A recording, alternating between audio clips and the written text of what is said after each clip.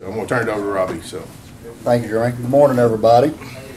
Uh, A little back to tell you, I came to this conference when in Houston several years ago, a long time ago, when we went, decided to go no-till. And that's where we began about 20 years ago with no-till. Um, Did that primarily, but the last uh, few's when we got into cover crops. Always got to brag on your family. The tall one is uh, graduated mechanical engineering.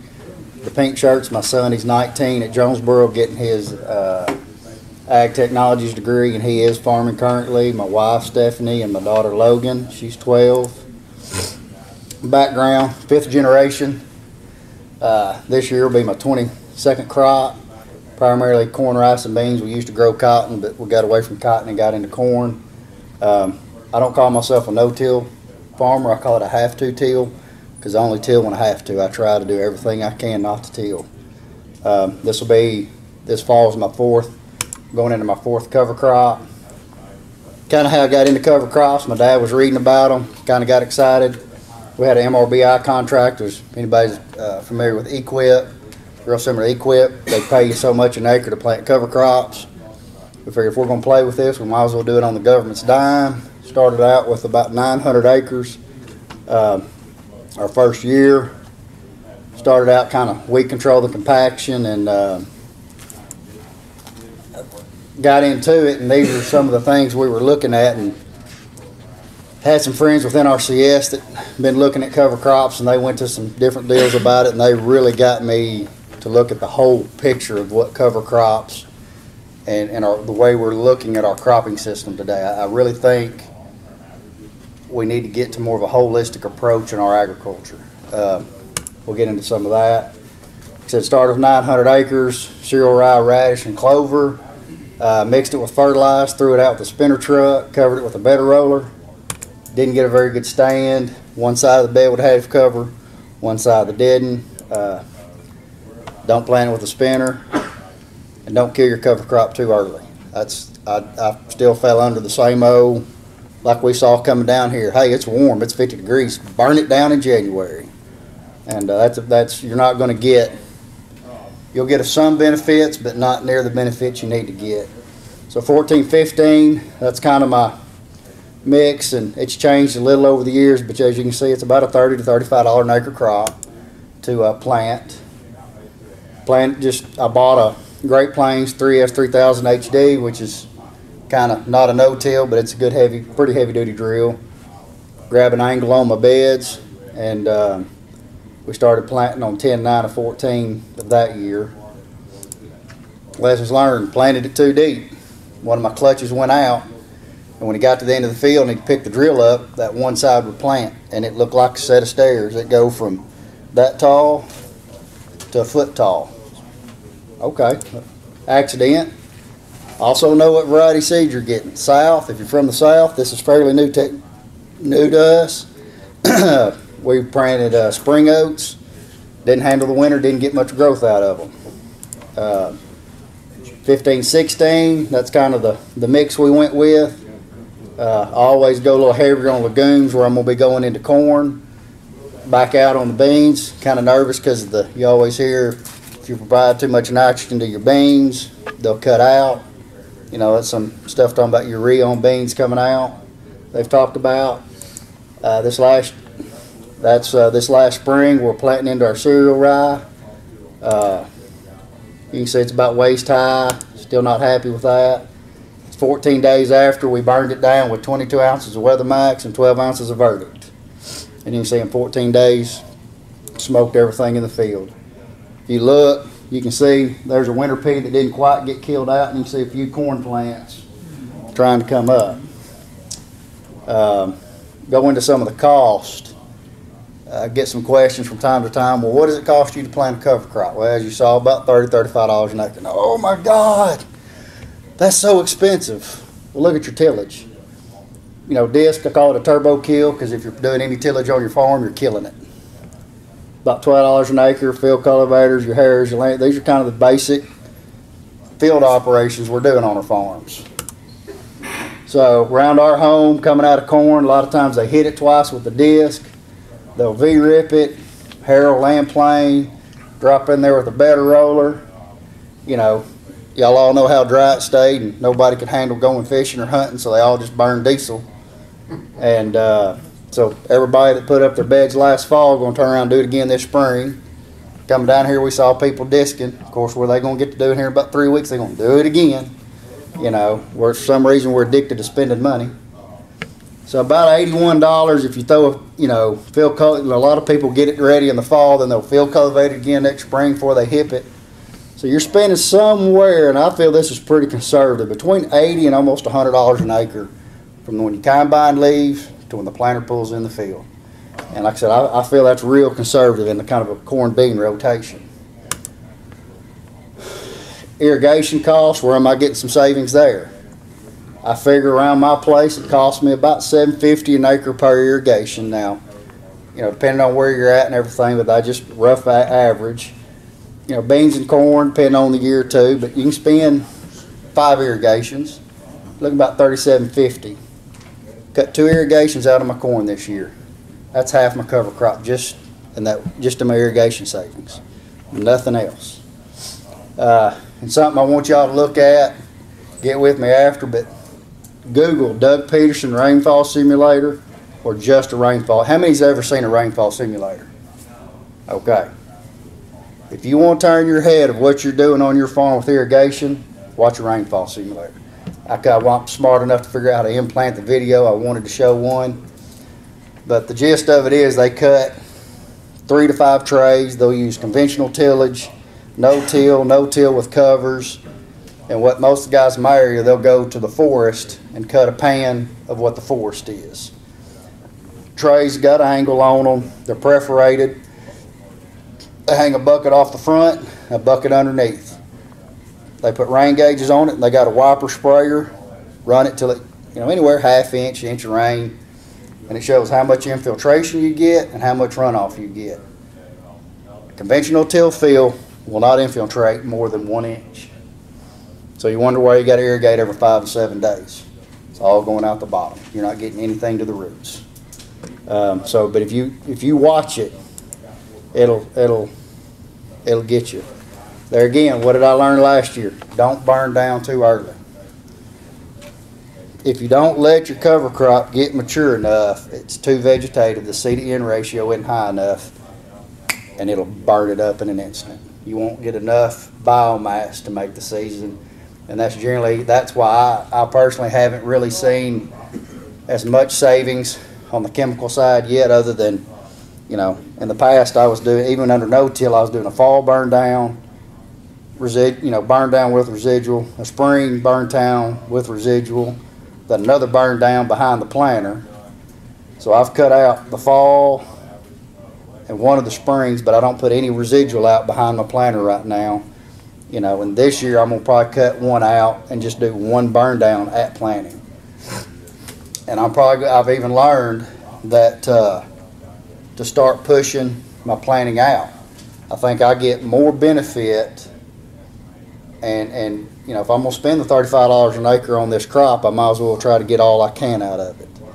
And get that biomass and, um, try to really, you know, get my money's worth out of it. So I'm still burning down too early. Those pictures you saw waist high, that was my best corn crop I had this year. My corn was off, but it still made about one eighty-seven. Um, so it's, it's there. And guys, it, it works. It takes a hundred and eighty degree mindset to change.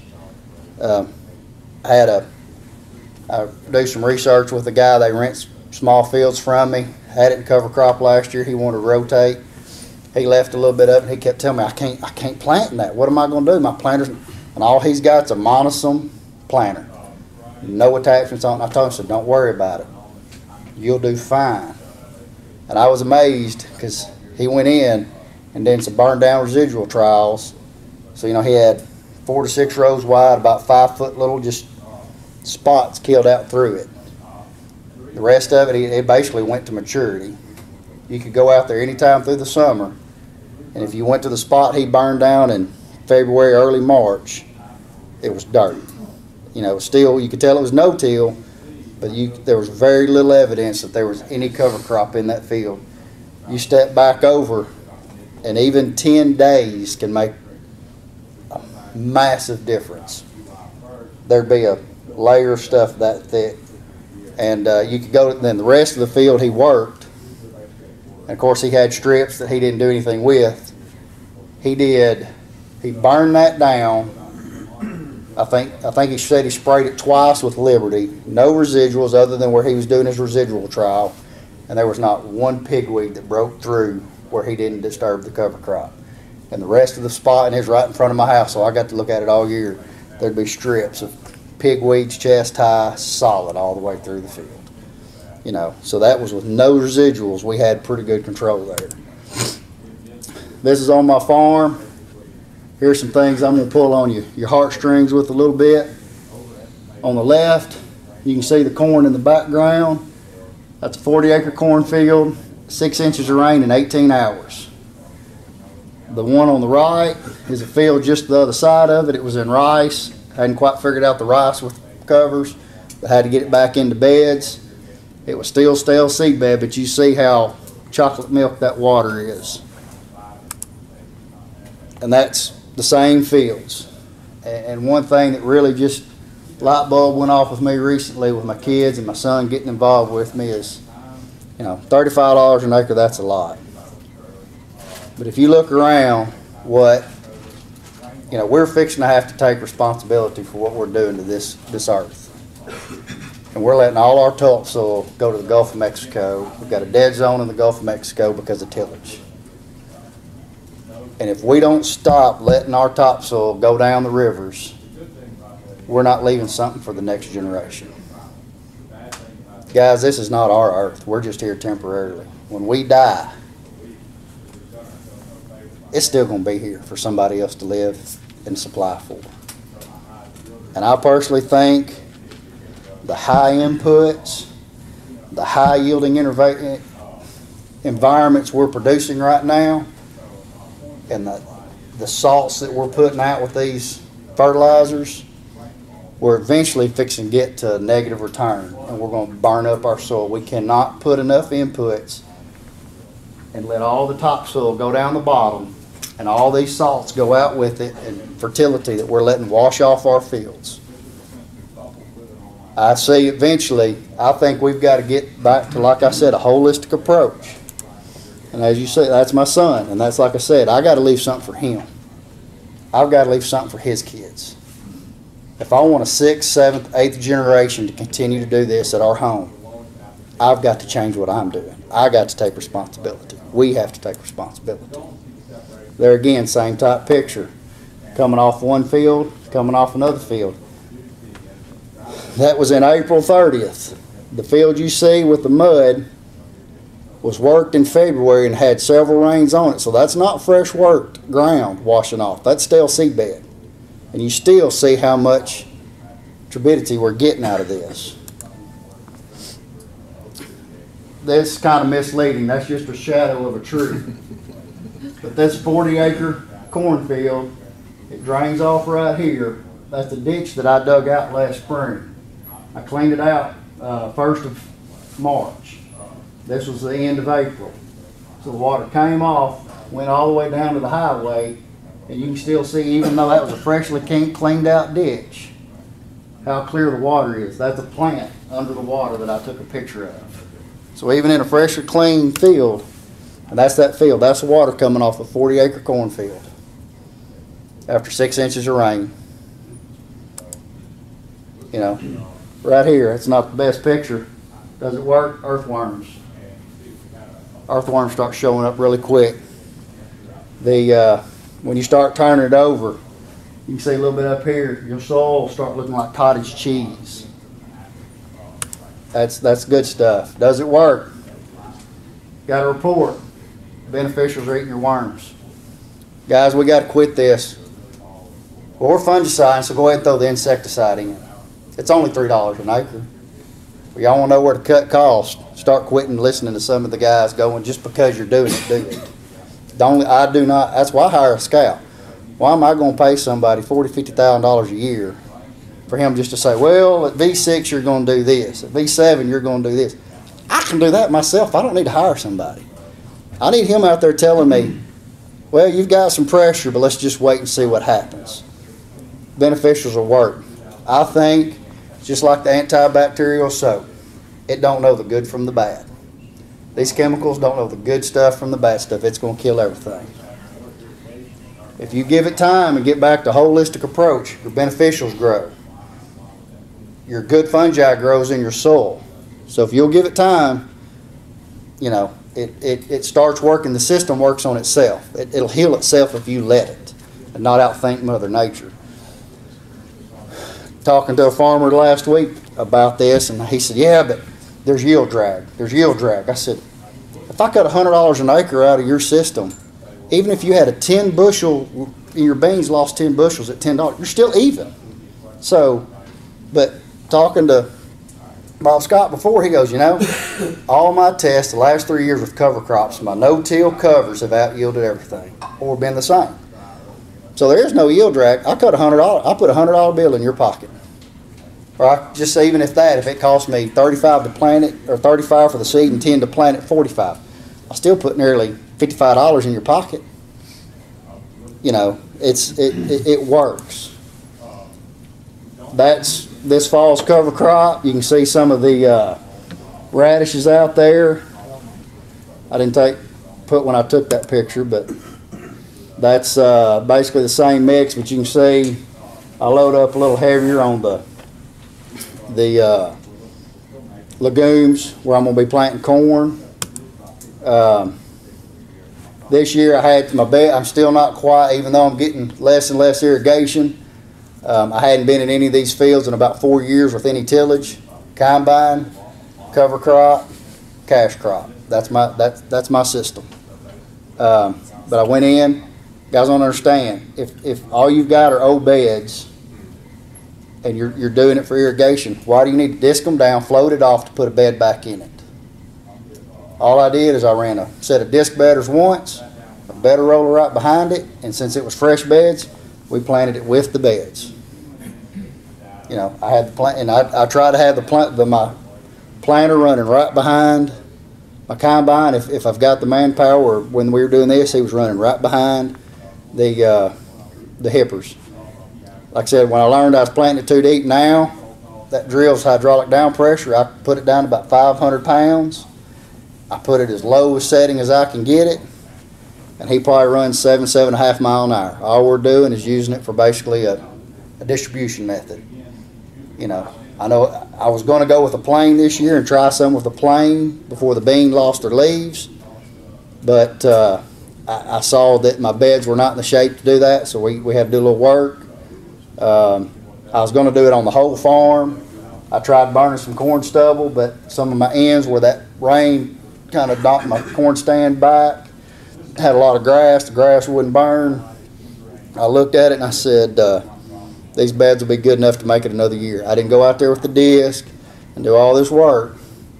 You know, one thing I hear too from people is, well, my water don't get out. Well, that's the name of the game. You don't want to see water in the ditch. That means you didn't get any infiltration.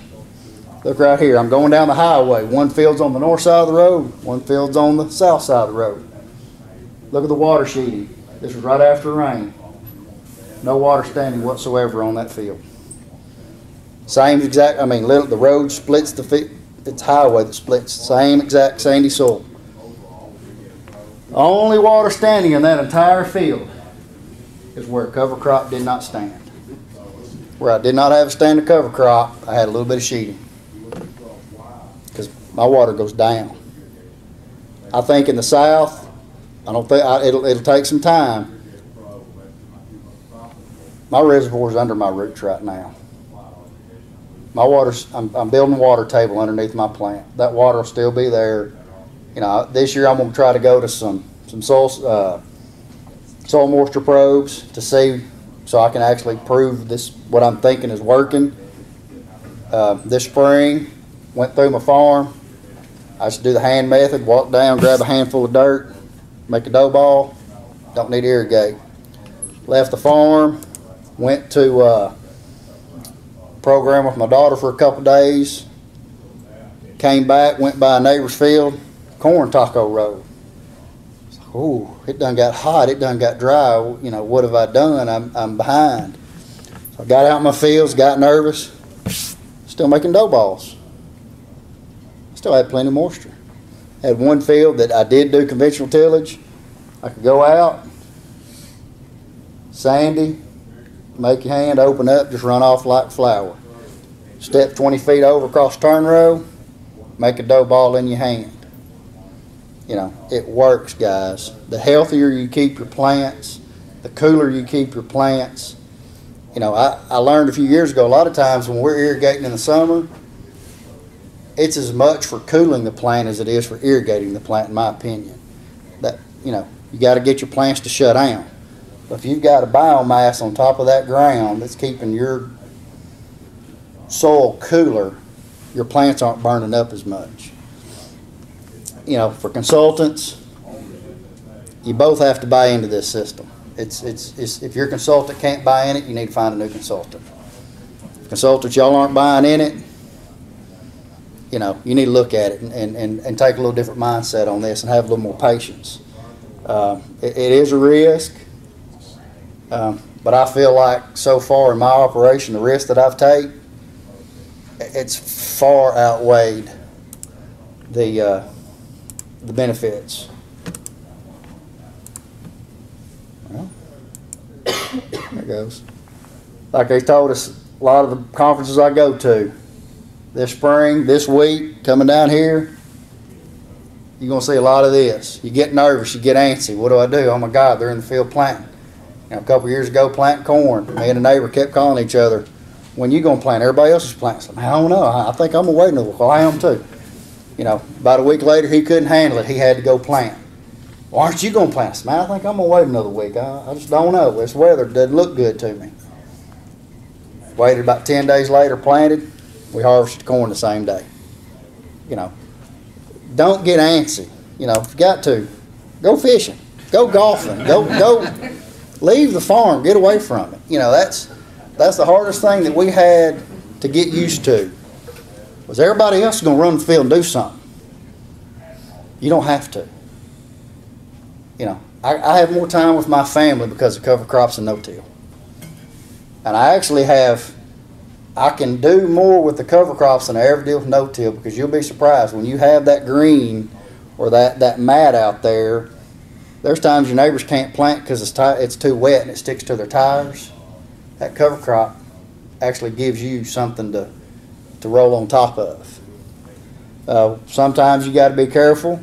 You know, it's kind of like cutting. Sometimes you may have to wait for the dew to get off if you're not timing it right because it'll hairpin on you. You know what? If I'm not working, tilling, doing all this, you know, we just wait a little longer in the morning. Don't get in as big a hurry. Run a little later at night. You know, whatever you need to do. Um, it's little things like that. That's my 12 year old. She likes to go play in the water with me sometimes. Um, you know, but that that's that's what I've gotten to. You know, my, my motto in my head is I got four F's. I got my faith, my family, fun, and farm. Now my wife knows from March to November, fun and farm switch. She, you know, that unless it rains or something, those two switch. But my faith and my family never change. And I got to a point a few years ago that, that the farm about got in the way of all of that. And I finally looked at my dad and I said, you know what? There ain't a decision y'all can't make on this farm if I'm gone for an hour. So there's times you got to get away. Uh, I got a real realization on family 2011. We were farming about 6,000 acres of row crop. It was uh, March 17th. Put my dad in the hospital. He went from 100% to 0% in five days. Encephalitis brain infection. It was always a joke with my dad. Your job isn't hard. My job's not hard. I said, but you're not going to do my job anymore. Because when he, when I came on, we went to more technology, more, you know, flow meters and precision and, and newer equipment. And he goes, man, auto steer's great. Don't expect me to learn how to use it. Do it all you. It's all on you. And I was fine with that. And I always joked. I said, but when you leave town and I got to do both our jobs, it's hell. It's tough.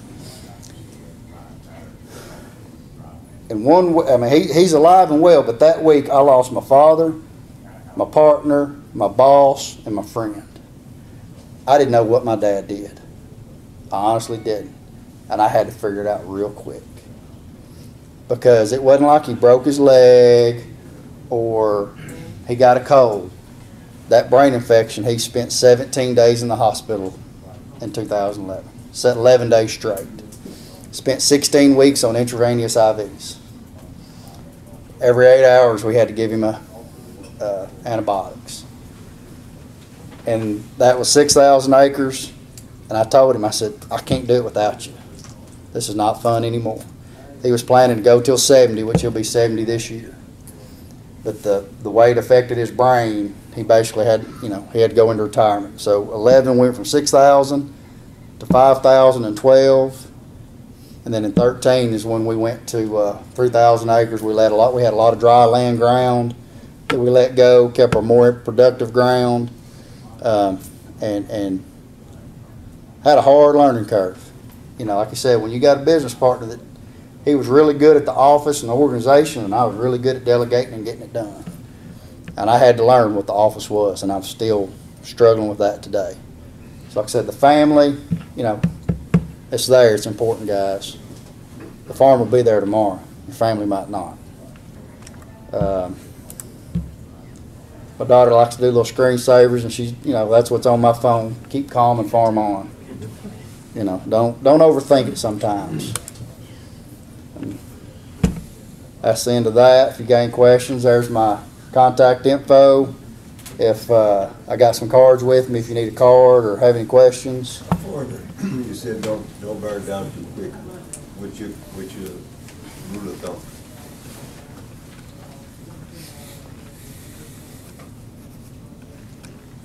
I mean, let's see, where's that? Can I answer that question for you? Till it's almost dead anyways if you're you. I mean, we, we're planting green standing, uh, that was four four.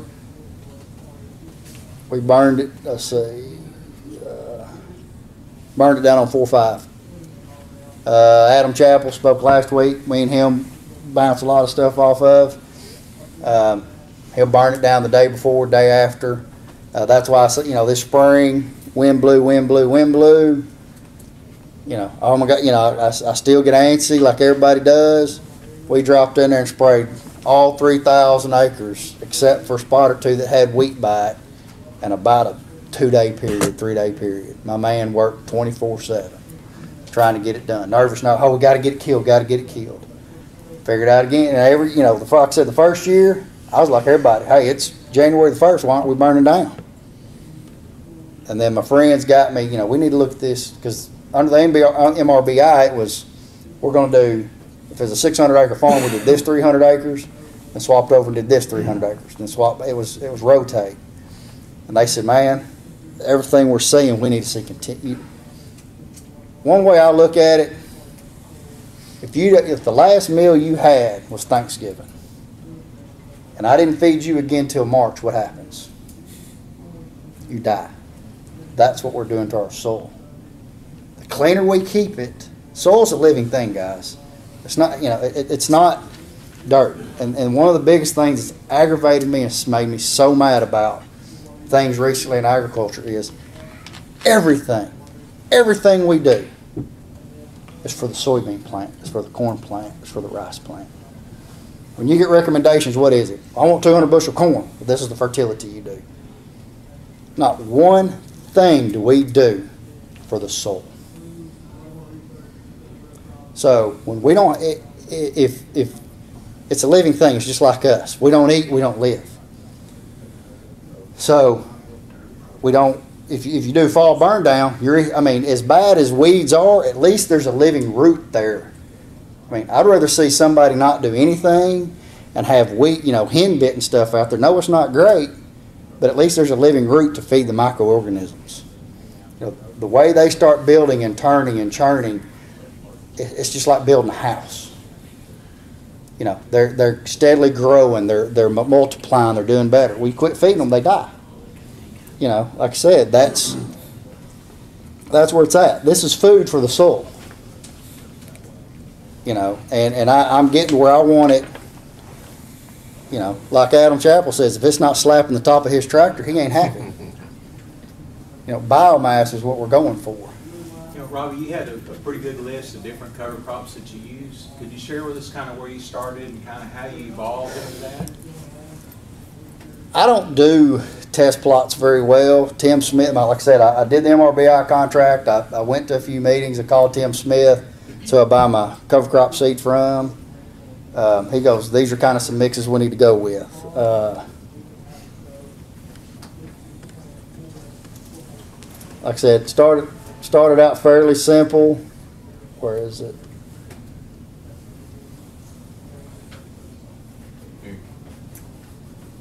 uh, cereal radish clover. Just something simple. I personally do not like radishes, at least like the, the, the tillage radish. My personal opinion, every picture you see on the cover of Delta Farm Press or Progressive, they sit there and guy standing there with this tillage radish this far and it's got 18 inch where it's been down the ground. Well, guess where that came from? Guys up north where they got three foot topsoil and there is no hard pan. My area, they go about six inches and make a 90 degree turn. And I add that they're very hard to control. And, and if you, most of this stuff, pretty forgiving. I just run Roundup 2,4-D. I'm gonna have to change my burn down program this year because I plan on burning down at planting, so 2,4-D is not really an option now. Um, I still think the radishes, the fibrous roots are doing good, but I also think the cereal rye, black oats, some of your real fine haired roots, get down in there. Talking to my manager just last week about it, he goes, three years ago, three, or four years ago, before we went into this, he was having to use a hammer to take soil samples. Y'all know how dry it was this fall. He said, I didn't hammer one sample on the 3,000 acres. He said, I could just take a soil samples. You know, it's working. What About insect complex, when at planting time, when you got that green crop. I only, this is the first year I had a problem. It was my fault. Typical, plant the whole farm, you drive around it, everything looks good. Had a 20 acre field right in the middle of the farm, never drove by it. Had my refuge corn in it. Has a tree line run through it. Worms came out, hooked around. Ate 20, well, ate 12 acres of non-BT corn. They got to the row of BT, stopped. I could have prevented that. That's not the cover crop's fault. I think if it, even if it would have just been no-till, those worms would have come out of those trees. I think some of the horror stories we're hearing out of insects with cover crops, they didn't do that. I, I hope, I hope, well, if it hurts your feelings, Bill, you have to get over it. Didn't do your homework. Didn't do your homework. You did a winter pea to a soybean crop to a winter pea to a soybean crop. Well, you, you, you bred a monoculture. You know, it, it, and I honestly think, and when you get into these diverse groups, and if you ever hear some of these other guys speak, Adam Chappell's fixing to go into a rotation where he goes wheat, summer cover crop with like a 15 way blend, into a bean crop with a fall cover. To you know, he's going to start a wheat, bean, corn rotation and do a summer fa- a summer cover crop. The diversity is where it's at, in my opinion. Now, sir, if you want to start simple, pick your cereal rye. Can I make a caveat Yeah. with that? Um, I grew up in South Louisiana, and we've tried cover crops before, and they were, but they didn't have the technology that, that we had today. They didn't have the mindset that you have. But we still need to be aware in South Louisiana of the green, uh, that, that green bridge. And, and, and I mean, everywhere is different. more. Y'all may have more where there's stuff. Now, Arkansas, we had about a three day period where it got down, it didn't get above freezing for two or three days. You know, but I also think, like I said, you go back to that one picture where it says your beneficials are eating your worms. Absolutely. We just have to be aware. I mean, you got to, and that's like I said, worms ate my corn. That that was my fault. I wouldn't. You're going to spend more time in the field watching what's going on in your field, and that's one thing that I've never been good at, and I should have. I need to do more. Is your farm will tell you what it needs. You know, it, it, it- will. If you'll listen to it and look at it, it's telling you what it needs.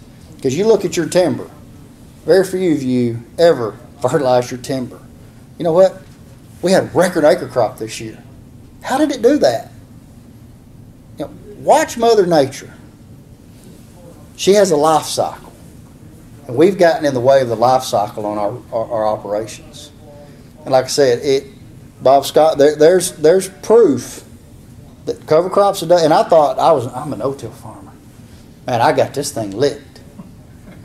You know, look at my organic matter. Or- or- Organic matter is a tool, it's an indicator. We were looking at soil samples on the way down here. My organic matter runs from two and a half to almost four. Um, I, I've got some other stuff I hadn't put in. I'm not, I hadn't built, the fertility thing, I'm gonna work on a little harder this year. I can show where I've got soil samples from the fourteen crop, and then this year overlapped them. Last year, we just, money's tight, guys. We backed way off on some fertility on, on P and K. Pull soil samples this fall. Hardly no difference in my, my analysis. We planted soybeans behind corn and a cover crop that had a, a big problem with slugs. And then they, were- they were eating the seed underground. Do you, have you had any slug? I hadn't had any slug problems. Um, I was noticing this summer when I was doing some irrigation out walking in the fields, had snails everywhere. And I've asked several people about what, and they like, man, I, we can't tell you. They're not doing any damage, but, and I, I, I- but I've heard slug issues. I don't quite know what the answer, you know, every area is gonna have a little, you know, it's, it's, you know, just like in Arkansas, North, we, you know, Central Arkansas can plant before North Arkansas, and South Arkansas plants before us. It's, you got to learn and play and see what works for you. Um, you know, I, there is going to be a learning curve. There is going to be some time when you go from, you know, it's, it's, it's just like a starving person. When you bring them to the buffet, they go crazy. The same thing your soul. One year I let some stuff get real rank. My guys hated me. Said we can't see the roads. We don't know how to. put- We don't know what we're doing. We can't see nothing. And I thought, man, I've got this figured out. By July, you could not tell I had a cover crop in that field. I woke up the earth and she went to eat. She ate all that biomass up like that. You know, when you start feeding the beast, you better, and that's where the more you get into this, and you, you know, it's just like us. You don't want to eat steak. I mean, yeah, you love steak, but after a week of steak, you don't want steak no more. So you got to have a diversity out there.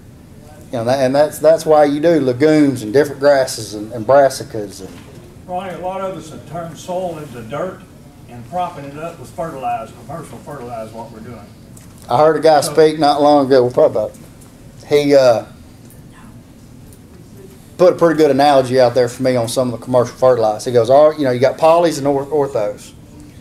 He said, "Your polys is much as your everybody uses granular or chain linked. If every vehicle on the interstate was chain linked together, would we go anywhere? Until those chains are broke apart and can move freely, it's not doing us any good." Now your orthos, they're not chain linked, so as soon as you, that's why it doesn't take as much ortho-based fertilizer as it does poly, in my opinion. It's more freely available in the soil. Um, one thing I do on my corn, I do put in for three to five gallons, depending on what year, but eleven thirty-seven O. I've gotten away from that and gone into the poly fertilized, but just keep that plant healthier a little longer, because most of the time, I'm not putting out any pre-nitrogen at all. Um, if I do, like last year when I slung some P and K, I did it with DAP. And whatever I needed in P and K, I just used the DAP and that's the only night, you know, some farms only had twenty units in of DAP going in.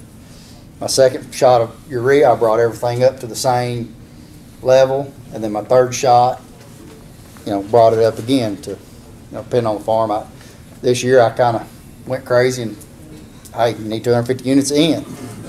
I probably shouldn't have done that. That's something I'm gonna look at this year. I'm gonna back way off. How do you managing, uh, corn residue prior to planting the cover crop? Cro- Cover crop, Prior to planting the cover, plant, plant, just get an angle and go. chopper, shredding, or anything? Nope. Right behind, I, you know, I may run my header a little lower. I got a Drago with knife rolls, chops up pretty good. You know, still got, you know, one foot, eighteen inch stalks. Grab you an angle. Like I said, I'm really, I'm not really worried about seed to soil contact. You know, it's generally cool. You know, it's cool enough. It's not going to rain. It'll lay there for. Uh, that's this year. Y'all saw how dry it was. Got nervous, and I was like, eventually you got to plant it. You can't wait for the rain because, like I said, sometimes when it starts, it don't stop. It'll lay there pretty good, surprisingly. Um, two years ago, one thing I noticed is you wouldn't believe how much residual moisture you start gaining from this. My bean, my planted my corn behind my corn first, then planted my beans cover. My bean cover came up before my corn because it still had moisture left over from my last bean irrigation enough that it, it, it germinated, you couldn't tell it, but it did germinate because then the next rain came. I was like, why am I seeing this and not that? That's planted 10 days after this. There was residual moisture just from irrigating beans. Like I said, and, one thing I get away, I single row of my corn and I twin row of my beans. I'm on 38 inch beds. So, you know, I'm splitting that corn. But once you get into this, you wake that beast up, you'd be surprised how much of that root wad and, and corn is just, you know, it'll just blast out of the way, no problem. What are we gonna do on the rice soybean rotation on clay? That's what I'm still trying to, that's something different for Arkansas is the rice. Um, Adam Chappell, he's playing with the road, he's gonna jump in. I said, some of us ain't real smart. We jump, we jump deep. We figure out how deep the water is after we jump. He gonna go straight to about eight hundred to thousand acres of row water rice. He gonna plant all of it straight in cover. You know, I've done, I, I tell you what I did do, and I was really impressed, and I'm stupid for not continuing to do it. Level to fi- zero graded a field three years ago. It was so hard, it would break, it was breaking the gangs off my disc. Dropped in there and I just, I lightened my drill as light as I could, slung some seed out there. Went in that spring with a, uh, Kelly tool after I burned it down. Behind pans with the cover crop, it made two ten. You know, and, and it was, and I didn't have any problem planting that next spring. What, I can't remember what I put out there, it was probably cereal rye and something else, but, you know, it's, it works. But rice, like I said, it's, conventional would probably be a little easier because you're planting 60, 90 pounds. Hybrid, you know, when you're planting 20, 25 pounds, you want the seeds and can't quite playing with that one on what to do. So, Are you having any problems, like we got in southeast Missouri, it's been no-till cover crops the last, last two years? The voles are absolutely wearing us plumb out. so that's, that's, I'm hearing that, um, I mean, I'm gonna talk, I'm gonna take them stands down to eleven, twelve thousand plants corn. some guys in Missouri that I've talked, or not Missouri, uh, I can't, Co- Coffee County, they're starting to put poles in the fields for hawks to land on. Yeah. Um, they've just dust that, that, and I, that hadn't been an issue for, like I said, it's, It'll be coming, I promise well, I said, that, Because we didn't have nothing, and then they just, and I think they'll build populations and the disease will wipe them out. But if you walk a wheat field right now, planting wheat that's been in the cover crop no-till two, three years, there's probably hundreds, hundreds of miles out there now. one thing they're saying, rolling and getting that stuff to the ground has helped a lot. Yeah. Getting it late, and that's why I went to vetch, because that's the other thing in the south, we got beds. Got into this, we're like, people ask, well, what do you do about, up north, they go, well, just scoot over fifteen inches. Can't do that, we have beds, what's the bed? You know, they don't, they don't know what furrow irrigation is. But that's why I went with the vetch. I'm hope, you know, for both those people I've talked to, the vetch gets tight enough in your cereals that when you plant, it almost acts like a roller and it'll lay it flat on the ground. So, I, I think on these slug and vole issues, you know, there, there may come a time when like crop rotation, there may be a reason to go back one year with some kind of tillage and put it back in. I mean, Uh, I, you know, one year out of ten is probably not gonna kill you. and that, that, right now, I mean, like I said, right now I'm going three to five years depending, you know, but I, I'm not destroying it. I'm hitting it real light and planting a cover right behind it. You know, at least, I don't know if voles are in the ground or how they work, but stay really kind of right on the top, they'll have little runs and stuff like that. is it like a, are they like a mouse? What are they? just a mouse. Okay. Big field mouse. I know like, well, not everybody can do this, but a lot of guys are incorporating cattle into this now. Yeah. You Can't do that. See, that's, If you run cows on it in the winter time, it'll run them out too. yeah, and that, that's the next step. Yeah. Mikey Taylor, if y'all ever get a chance to hear him, they're doing it. Great, great guys. They, they've really jumped in there and it's, it's a good operation. Real quick, if anybody wants to see the rainfall simulator, if you get a group together, call your uh, district conservationists. Yeah, they've got. RCS, uh, service center.